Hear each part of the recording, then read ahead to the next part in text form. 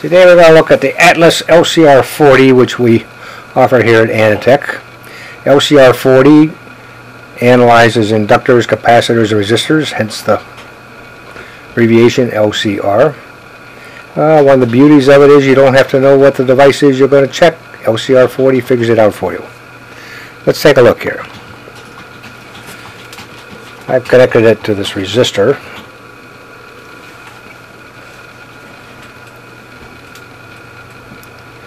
And it gives me the resistance 51.3 ohms. That's pretty simple. Let's get a little more complicated here.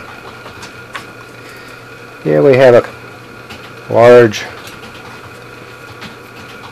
electrolytic capacitor, 1000 microfarad it says. Here's the capacitor being tested. Analyzing.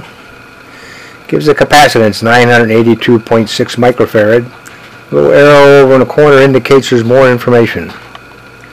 Tells you what the test frequency is, which in this case is DC. Large capacitors, LCR40 uses DC to measure them.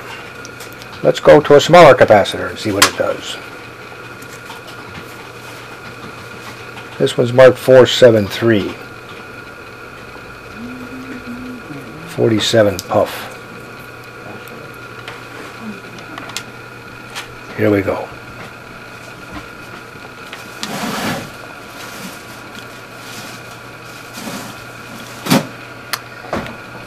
I'm sorry, I said that wrong. It was 47 nanofarad.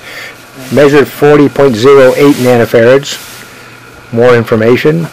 Test frequency is 1 kilohertz.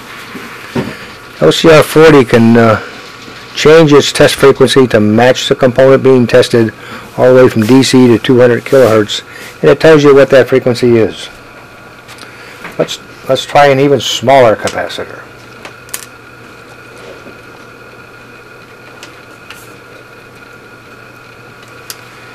Here we go.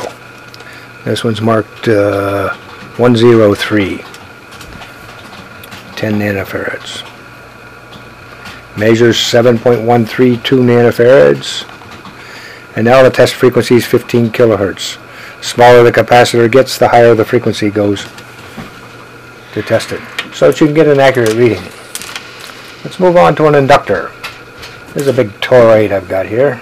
I have no idea what the inductance of it is. Here's the here's the toroid. Let's take a look.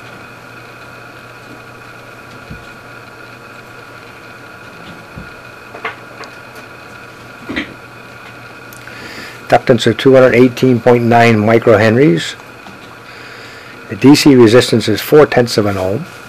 Good thing to know. The test frequency LCR40 used was 200 kilohertz. As I mentioned, you don't have to know what the component is.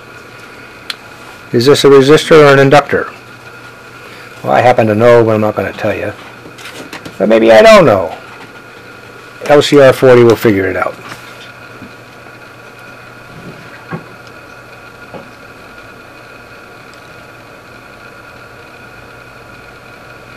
It's an inductor, 101.8 microhenries, probably a nominal 100 microhenries.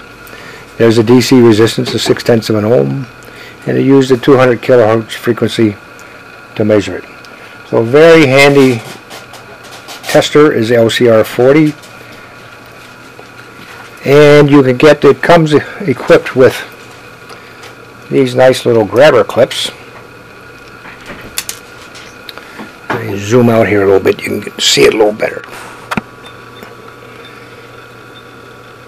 And those plug into these 2 millimeter banana plugs.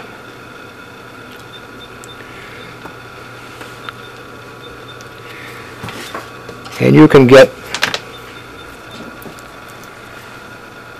tweezers for SMN, SMD devices that plug right in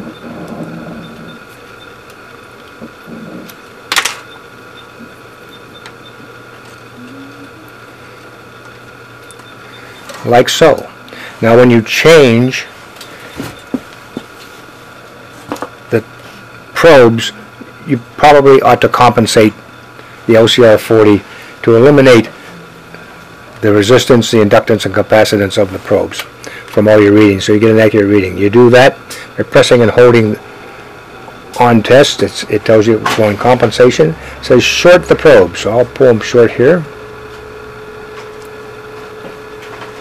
Now open them. Okay, so now LCR 40 remembers the characteristics, inductance, capacitance, resistance of these probes, and will deduct that from any measurements it makes so you have an accurate measurement.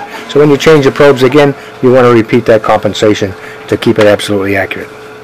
Very nice gadget, this LCR 40.